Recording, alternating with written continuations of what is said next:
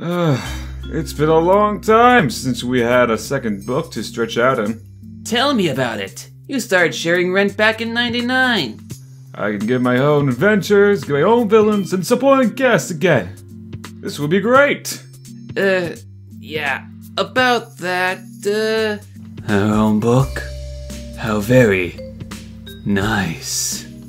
Hey, boys. Be a couple of dears and bring in our bags. Hmm?